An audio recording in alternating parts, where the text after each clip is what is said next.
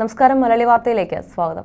കേരള ഗവർണറും ജസ്റ്റിസ് ദേവൻ രാമചന്ദ്രനും തമ്മിൽ എന്താണ് ബന്ധമെന്ന ചോദ്യം ഉയർന്നു വരികയാണെന്ന് സി നേതാവും പാർട്ടി കണ്ണൂർ ജില്ലാ സെക്രട്ടറിയുമായ എം ജയരാജൻ. കേരള സാങ്കേതിക സർവകലാശാല ബി സി നിയമനത്തിനായുള്ള സെർച്ച് കമ്മിറ്റിയിൽ ഗവർണറുടെ പ്രതിനിധിയെ ഉൾപ്പെടുത്താനുള്ള ജസ്റ്റിസ് ദേവൻ രാമചന്ദ്രന്റെ വിധി ഹൈക്കോടതി ഡിവിഷൻ ബെഞ്ച് സ്റ്റേ ചെയ്തപ്പോഴാണ് ദേവൻ രാമചന്ദ്രൻ നിയമം വീണ്ടും ചർച്ച ചെയ്യേണ്ടി വരുന്നതെന്നും അദ്ദേഹം ചൂണ്ടിക്കാട്ടുന്നു.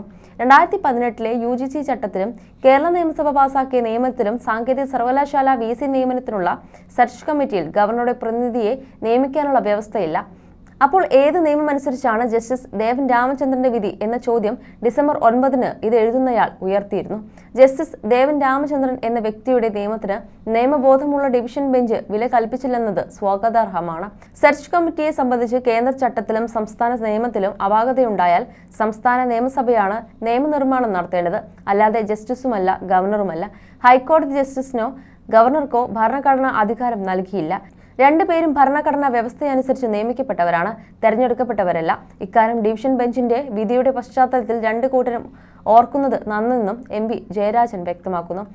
അതേസമയം ഫാദർ സ്റ്റാൻ സ്വാമിയെ കേന്ദ്ര അന്വേഷണ ഏജൻസി കള്ളക്കേസിൽ കുടുക്കുക മാത്രമല്ല ആ കേസിൽ കള്ളത്തെളിവ് സൃഷ്ടിക്കുക കൂടി ചെയ്തുവെന്നാണ് ഒടുവിൽ പുറത്തുവന്ന റിപ്പോർട്ടെന്നും അദ്ദേഹം കൂട്ടിച്ചേർത്തു.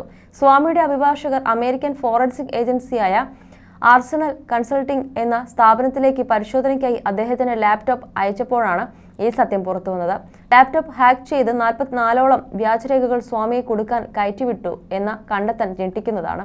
ജാർഖണ്ഡിലും മറ്റും ആദിവാസി ഭൂമി തട്ടിയെടുക്കുന്ന ഖനി മാഫിയ സംഘത്തിനെതിരെ ആദിവാസികളെ സംഘടിപ്പിക്കുകയും നിയമ നടപടികൾ സ്വീകരിക്കുകയും ചെയ്തതാണ് കേന്ദ്ര സർക്കാരിന് സ്വാമിയോടുള്ള വിരോധത്തിന് കാരണം. ഖനി മാഫിയകൾ മോഡിയുടെ ചങ്ങാത്ത മുതലാളിമാരാണ്. സ്വാമിയെ കള്ളക്കേസിൽ കൊടുക്കുക മാത്രമല്ല ജയിലിൽ വെച്ച് മതിയായ ചികിത്സ നൽകാത്തതിനാൽ അദ്ദേഹം മരണപ്പെടുകയും ചെയ്തു. കേന്ദ്ര അന്വേഷണ ഏജൻസിയെ ബി സർക്കാർ ദുരുപയോഗം ചെയ്തുവെന്ന ആരോപണം തെളിയിക്കുന്നതാണ് ഇപ്പോൾ പുറത്തുവന്ന ഈ വസ്തുതകൾ. മോഡിയുടെ ഫാസിസ്റ്റ് ഭരണകൂടത്തിന്റെ ഇരകളിലൊരാൾ മാത്രമാണ് സ്റ്റാൻ സ്വാമി സമാനമായ നിരവധി സംഭവങ്ങൾ ഇനിയും പുറത്തുവരാനിരിക്കുന്നു. ഇന്ത്യയിൽ ജനാധിപത്യം അപകടത്തിലാണ് നിരന്തര ജാഗ്രതയോടെയുള്ള ചെറുത്തുനിൽപ്പ് അതുകൊണ്ട് തന്നെ അനിവാര്യമാണെന്നും അദ്ദേഹം കൂട്ടിച്ചേർത്തു.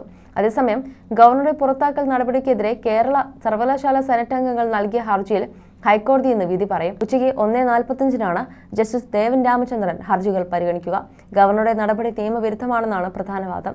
എന്നാൽ വി സി നിയമനത്തിനുള്ള സെർച്ച് കമ്മിറ്റി അംഗത്തെ നോമിനേറ്റ് ചെയ്യാൻ ആവർത്തിച്ച് ആവശ്യപ്പെട്ടിട്ടും അത് അംഗീകരിക്കാത്ത സാഹചര്യത്തിലാണ് പ്രീതി പിൻവലിക്കേണ്ടി വന്നതെന്നും സെനറ്റ് അംഗങ്ങൾ തനിക്കെതിരെ നിഴൽയുദ്ധം നടത്തുകയാണെന്നും ഗവർണർ കോടതിയെ അറിയിച്ചിട്ടുണ്ട്. പ്രീതി പിൻവലിക്കൽ വ്യക്തിപരമാകരുതെന്നും നിയമപരമായി മാത്രമേ അതിന് പ്രസക്തിയുള്ളൂവെന്നും കോടതിയും വ്യക്തമാക്കിയിരുന്നു. ഗവർണറുടെ കാരണം കാണിക്കൽ നോട്ടീസിനെതിരായ വി സിമാരുടെ ഹർജിയും കോടതി ഇന്ന് പരിഗണിക്കുന്നുണ്ട്. അതിന്റെ നിയമസഭ പാസാക്കിയ ബില്ലുകൾ ഗവർണർ ഒപ്പിടാത്ത പ്രതിസന്ധിയിൽ സർക്കാർ നിയമോപദേശത്തിന് ചെലവിട്ടത് അരക്കോടിയോളം രൂപയെന്ന വിവരവും പുറത്തുവന്നു.